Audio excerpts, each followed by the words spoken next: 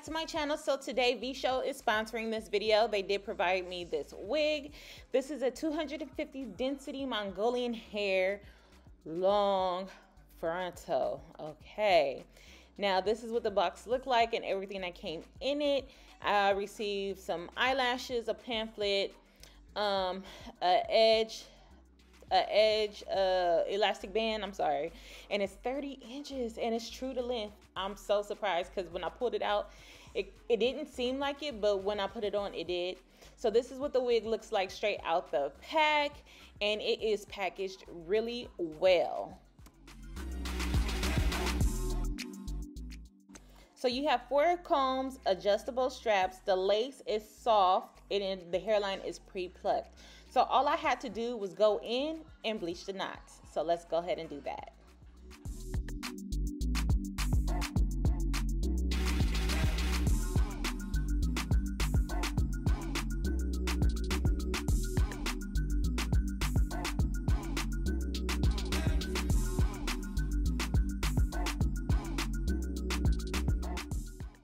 As you can see, I'm using Quick Blue and 30 volume developer. I'm doing one part bleach, one part developer, mixing it together to get the consistency that I need.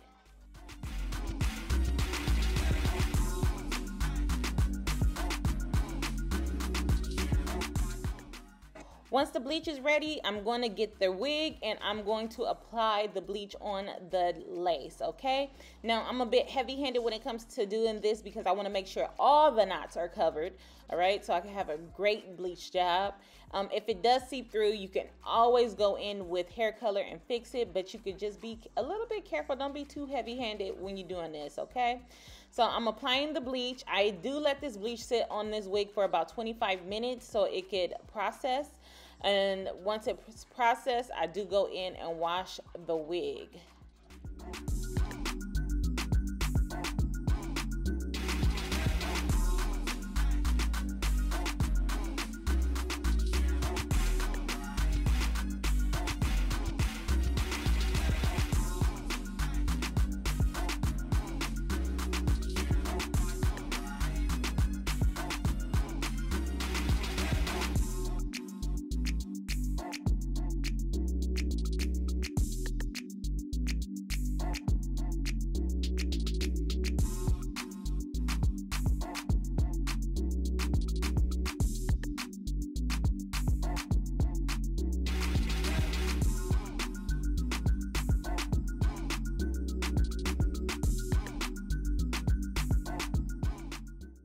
So you want to make sure you thoroughly rinsing off all the bleach off this wig so it can stop processing.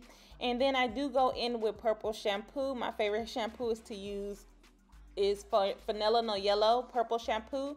It is a very strong violet purple shampoo, so it's going to turn your knots super quick. So you definitely don't want to keep this particular product on your hair for long. Look how dark it is.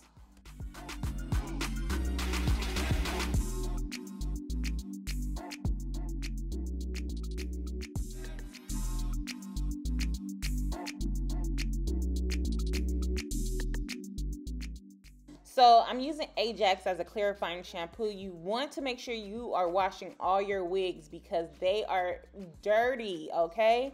You don't want to just install some hair or bundles in your head without washing them first because you never know what's on these wigs.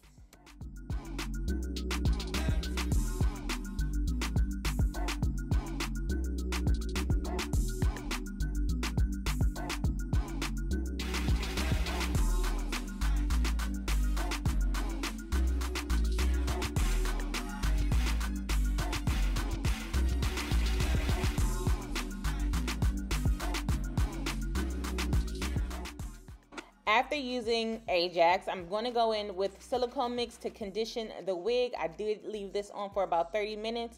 I applied it with um, damp hair and then I combed it through and let it sit. And after that, it was just ready for me to go in and do the baby hairs.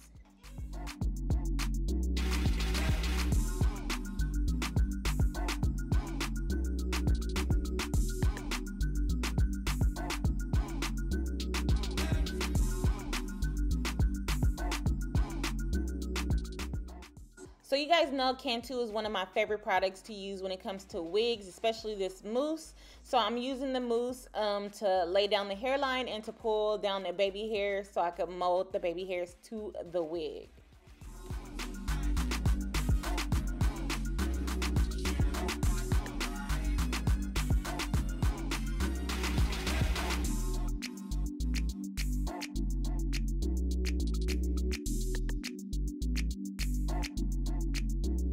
On the beat.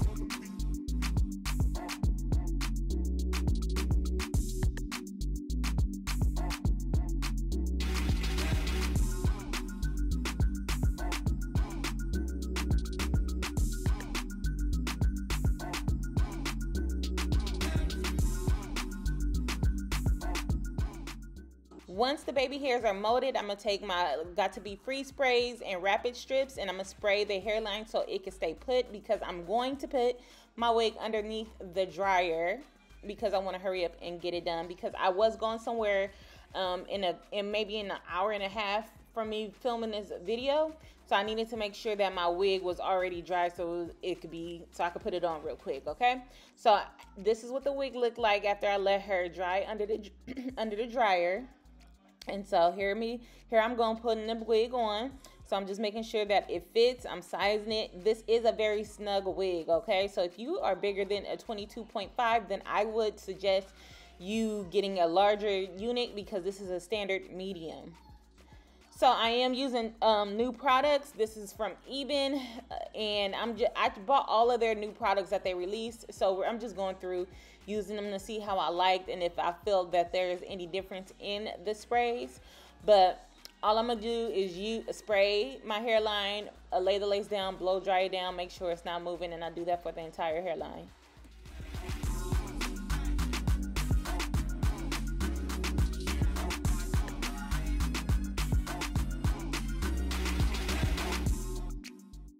So while using the Ebin sprays, this is my second time using one of the new newer products. Um, I did buy all of them because I did want to see how they perform, but I did notice that the fragrance is depending on which one you're using is stronger than the other, and I'm guessing um, and you can literally smell the alcohol in it. So I don't know. I wasn't, I haven't gotten irritated as of yet with this, but I am very careful when using the Ebin spray because, um, like I said, I've used it before and it has broken my edges off before. So I'm definitely careful.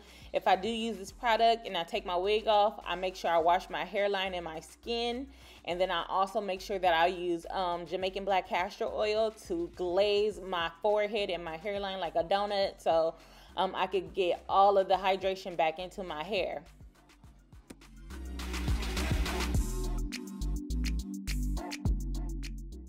So to mold my baby hairs, I like to use spritz and um, this little uh, curler or flat iron is from Amazon. I'll have that link down below in the description box for you guys.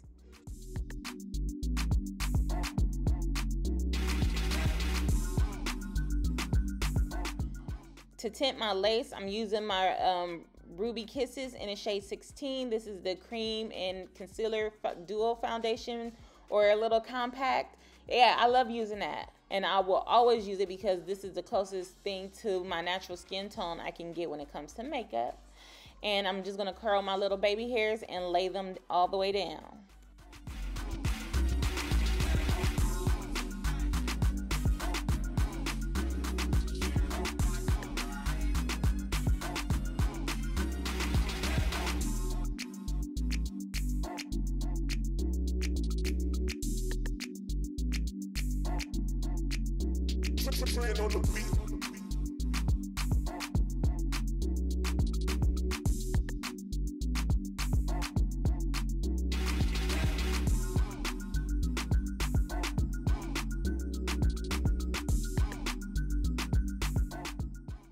After my hairline is pressed out and sleek, I'm going to go in with the same spray and I'm going to spray my hairline. And then I'm going to just lay my elastic band down just to help melt it all the way through. And after about 15 minutes, this is what my hairline looks like. I usually go in and uh, fluff out my baby hairs, but this is basically it. She look, she's looking really good, very good. Um, if you guys are interested in the, this wig, I will have a link down below in the description box for you guys. And yeah, I didn't have time to put on makeup, so. but yeah, she was very full, very full and beautiful by you guys.